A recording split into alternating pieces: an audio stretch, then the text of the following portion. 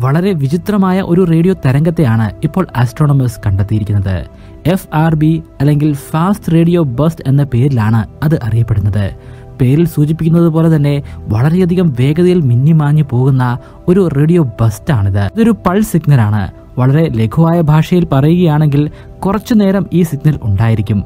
അതിനുശേഷം ഇത് ഉണ്ടായിരിക്കുന്നതല്ല. അതിനുശേഷം വീണ്ടും ഈ സിഗ്നൽ ഉണ്ടാകുന്നു. അതിങ്ങനെ തുടർച്ചയായി മുൻപോട്ട് പോയിക്കൊണ്ടിരിക്കുന്നു. പക്ഷേ ഇവിടെ കുറച്ചു നേരം എന്ന് പറയുന്നത് കുറച്ച് മില്ലി സെക്കൻഡുകൾ മാത്രമാണ്. സാധാരണഗതിയിലുള്ള ഒരു പൾസ് സിഗ്നലിനെ കുറിച്ചല്ല പറയുന്നത് ഒരു ഫാസ്റ്റ് റേഡിയോ ബസ്റ്റിനെ കുറിച്ചാണ്. എഫ് ബി ആറിനെ നേരത്തെ നമ്മൾ കണ്ടെത്തിയിട്ടുള്ളതാണ്. എന്നാൽ ഇപ്പോൾ കണ്ടെത്തിയിരിക്കുന്നത് കുറെ കൂടെ വിചിത്രമായിട്ടുള്ള ഒരു സിഗ്നലാണ്. ഇതിന് കൃത്യമായിട്ടുള്ള ഒരു പാറ്റേൺ ഉണ്ട്. പുതിയതായി ലഭ്യമായിരിക്കുന്ന ഈ സിഗ്നലിന് മനുഷ്യന്റെ ഹൃദയമിടിപ്പിനോട് വളരെയധികം സാദൃശ്യമുണ്ട്. അതുകൊണ്ട് തന്നെ heart beat F B R എന്ന പേരിലും ഗവേഷകർ ഇതിനെ വിശേഷിപ്പിക്കുന്നുണ്ട്. ചരിത്രത്തിൽ ഇതുവരെ ലഭ്യമായിട്ടുള്ള എഫ് ആർ ബികൾ വെച്ച് ഏറ്റവും വിചിത്രമായിട്ടുള്ള ഈ സിഗ്നലിനെ കുറിച്ച് തന്നെയാണ് ഇന്നത്തെ വീഡിയോയിലൂടെ നമ്മൾ സംവദിക്കാൻ പോകുന്നത്. അതിനു മുമ്പ് അല്പം ചരിത്രമാകാം. എങ്ങനെയാണ് എഫ് ആർ ബി എന്ന സിഗ്നൽ നമ്മൾ കണ്ടെത്തിയത്? അതിന് അധികം വർഷത്തെ പഴക്കമൊന്നുമില്ല. ശാസ്ത്രം വളർന്നിട്ട് കുറേ അധികം വർഷങ്ങൾ ആയെങ്കിൽ പോലും രണ്ടായിരത്തി ഏഴിൽ മാത്രമാണ് ഇതിനെ നമുക്ക് കണ്ടെത്താൻ സാധ്യമായത്. അതിന്റെ കാരണം അതിനു മുൻപുള്ള കാലഘട്ടത്തിൽ നമുക്ക് കണ്ടെത്താൻ സാധിക്കുന്ന സാങ്കേതികവിദ്യ ഉണ്ടായിരുന്നില്ല എന്നതാണ്. നമ്മൾ ആദ്യം തന്നെ പറഞ്ഞു ഇതിന്റെ ഡ്യൂറേഷൻ എന്ന് പറയുന്നത് വളരെയധികം കുറഞ്ഞതാണ്. മില്ലി സെക്കൻഡുകൾ നേരത്തേക്ക് മാത്രമേ ഇത് നിലനിൽക്കുകയുള്ളൂ. പെട്ടെന്ന് വന്ന് പെട്ടെന്ന് തന്നെ അപ്രത്യക്ഷമാകുന്നു. അതുകൊണ്ട് തന്നെയാണ് ആദ്യമായി ഇതിനെ കണ്ടെത്താൻ രണ്ടായിരത്തി ഏഴ് വരെ കാത്തിരിക്കേണ്ടി വന്നത്.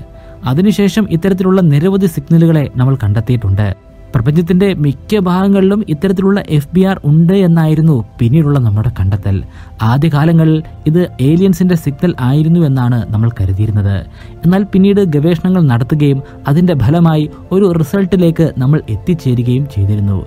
ഇത് സ്വാഭാവികമായി ഉണ്ടാകുന്ന ഒരു സിഗ്നലാണ്. ആർട്ടിഫിഷ്യൽ ആയിട്ടുള്ള ഒരു സിഗ്നൽ അല്ല അതിഭീകരമായ മാഗ്നറ്റിക് ഫീൽഡ് ഉള്ള ഒരു വസ്തുവിൽ നിന്നാണ് ഇങ്ങനെയുള്ള സിഗ്നലുകൾ ഉണ്ടാകുന്നത്.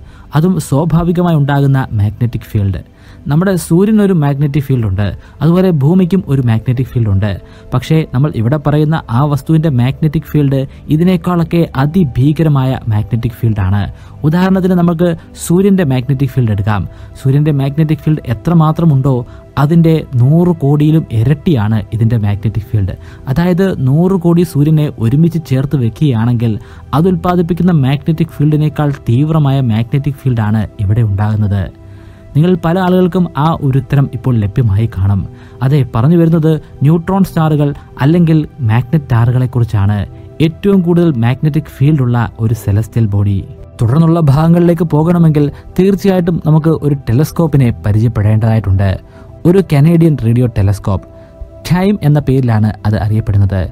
Canadian hydrogen intensity mapping experiment എന്നാണ് അതിന്റെ പൂർണമായ രൂപം. കാനഡയിലെ ബ്രിട്ടീഷ് കൊളംബിയയിൽ സ്ഥിതി ചെയ്യുന്ന ഈ ടെലിസ്കോപ്പിന്റെ പ്രത്യേകത എന്താണ്? ഭൂമിയിൽ നിന്നും വളരെയധികം പ്രകാശവർഷങ്ങൾ അകലെ സ്ഥിതി ചെയ്യുന്ന ഹൈഡ്രജൻ വാതകങ്ങൾ അതിലൂടെ സൃഷ്ടിക്കപ്പെടുന്ന റേഡിയോ തരംഗങ്ങളെ ഡിറ്റക്ട് ചെയ്യാൻ ഇവയ്ക്ക് സാധിക്കും. വളരെയധികം അകലം എന്നുകൊണ്ട് ഉദ്ദേശിക്കുന്നത് നമുക്ക് കാണാൻ സാധിക്കുന്ന ഒബ്സർവബിൾ യൂണിവേഴ്സിന്റെ അങ്ങേ അറ്റമാണ്. അതായത് നമ്മളിൽ നിന്നും നാലായിരത്തി അറുന്നൂറ്റി അൻപത് കോടി പ്രകാശവർഷങ്ങൾ. നമുക്കൊന്നും ചിന്തിക്കാൻ പോലും സാധിക്കാത്ത അത്ര അകലം. അവിടെ നിന്നാണ് ഈ തരംഗങ്ങൾ ഇവിടേക്ക് എത്തിച്ചേരുന്നത്. ഇത്രയധികം അകലെ നിന്ന് വരുന്ന തരംഗങ്ങൾ ആയതുകൊണ്ട് ഇതിനിടയിലുള്ള ഡാർക്ക് എനർജിയെക്കുറിച്ചും ഡാർക്ക് മാറ്ററിനെ കുറിച്ചും നമുക്ക് കൂടുതൽ കാര്യങ്ങൾ പഠിക്കാൻ സാധിക്കുന്നതാണ്. ഇത്തരത്തിൽ വരുന്ന തരംഗങ്ങളെ ബാരിയോൺ അക്വസ്റ്റിക് ഓസിലേഷൻസ് എന്ന പേരിലാണ് വിശേഷിപ്പിക്കുന്നത്. ചുരുക്കത്തിൽ ഈ തരംഗങ്ങളിൽ പഠനങ്ങൾ നടത്തുന്നതിലൂടെ എങ്ങനെയാണ് ഈ പ്രപഞ്ചം ഉണ്ടായതെന്ന് മനസ്സിലാക്കാൻ സാധിക്കുന്നതാണ്. അതിനു പുറമെ ഡാർക്ക് എനർജി എന്ന വിചിത്രമായിട്ടുള്ള ആ ചോദ്യത്തിന്റെ ഉത്തരം കണ്ടെത്താനും നമുക്ക് സാധിക്കുന്നതാണ്. ശാസ്ത്രത്തിലെ പ്രധാനപ്പെട്ട കണ്ടെത്തലുകളൊക്കെ സംഭവിച്ചിരിക്കുന്നത് യാദൃശ്ചികമായിട്ടാണ്. അതായത് ആ ഒരു കണ്ടെത്തലിന് വേണ്ടി നടത്തിയ എക്സ്പെരിമെന്റ് ആയിരുന്നില്ല. പക്ഷേ നമ്മൾ ആഗ്രഹിച്ചതിനേക്കാൾ മികച്ച ഒരു ഉത്തരം നമുക്ക് ലഭ്യമായിരിക്കുന്നു. ഇവിടെയും അതുതന്നെയാണ് സംഭവിച്ചിരിക്കുന്നത്. ഒബ്സർവബിൾ യൂണിവേഴ്സിന്റെ അങ്ങേ അറ്റത്തെ സിഗ്നലുകളെ റിസീവ് ചെയ്യാൻ വേണ്ടിയാണ് ഇവ സ്ഥാപിച്ചത്. എന്നാൽ പിന്നീട് നമുക്ക് മനസ്സിലായി ഫാസ്റ്റ് റേഡിയോ ബസ്റ്റുകളെ വളരെയധികം മനോഹരമായിട്ട് റിസീവ് ചെയ്യാൻ ഇവയ്ക്ക് സാധിക്കുമെന്ന്. എഫ് ബി ആറിനെ കണ്ടെത്താൻ സാധിക്കുമെന്ന് മാത്രമല്ല അത് എവിടെ നിന്നാണോ വരുന്നത് ആ ഭാഗത്തെ ഒരു ത്രീ ഇമേജ് സൃഷ്ടിക്കാൻ പോലും നമുക്ക് സാധിക്കുന്നതാണ്. ഈ റേഡിയോ റിസീവറിലേക്ക് എത്തിച്ചേരുന്ന എഫ് ബി ആർ ഓരോ എഫ് ബി ആറിന്റെയും തരംഗങ്ങളുടെ ചെറിയ വേരിയേഷനെ മനസ്സിലാക്കിയിട്ടാണ് അവയുടെ ഉദയസ്ഥാനം എവിടെയാണെന്ന് മനസ്സിലാക്കുന്നത്. ഈ പ്രക്രിയയെല്ലാം വളരെയധികം വേഗതയിലാണ് നടപ്പിലാക്കുന്നത്. അതുതന്നെയാണ് ഈ ടെലസ്കോപ്പിനെ സ്പെഷ്യൽ ആക്കുന്നതും എഫ് ബി ആറിന്റെ തുടക്കം മനസ്സിലാക്കാൻ സാധിക്കുന്ന വേറെയും ടെലസ്കോപ്പുകളുണ്ട്.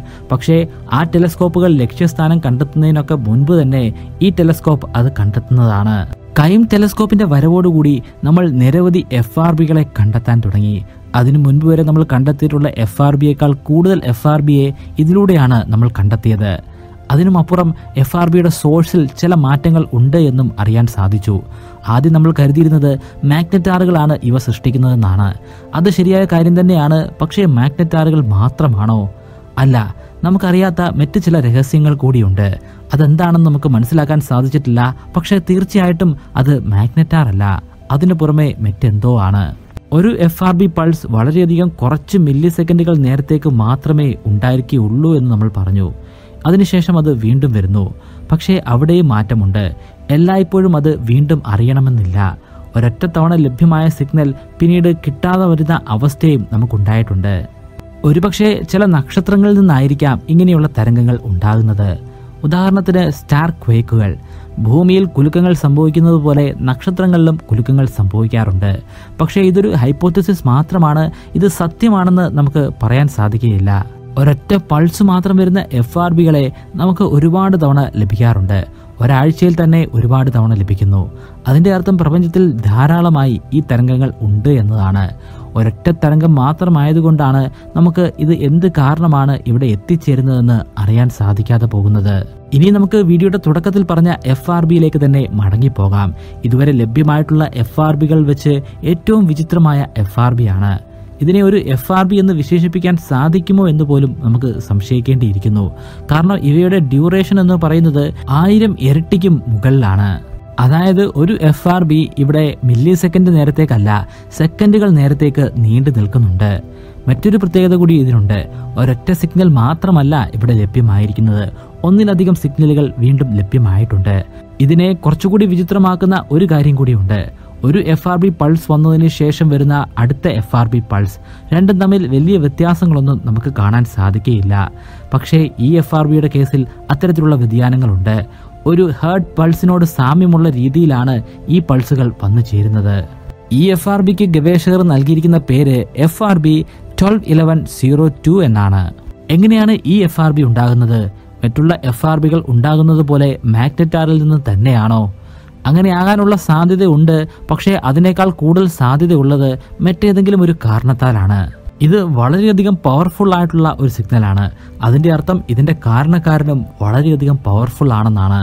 ഇത്രയധികം ശക്തമായിട്ടുള്ള പവറുള്ള മാഗ്നറ്റാറുകളെയോ പൾസാറുകളെയോ നമുക്ക് ഇതുവരെയായും കണ്ടെത്താൻ സാധ്യമായിട്ടില്ല. ശാസ്ത്രത്തിന്റെ പക്കലുള്ള ഉത്തരമില്ലാത്ത നിരവധി ചോദ്യങ്ങളുടെ കൂട്ടത്തിൽ ഒരു ചോദ്യമായി ഇത് അവശേഷിക്കുകയാണ്.